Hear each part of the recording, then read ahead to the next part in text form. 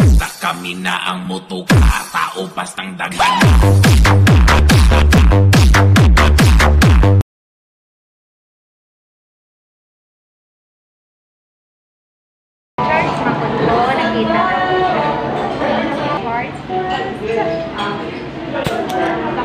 Thank you.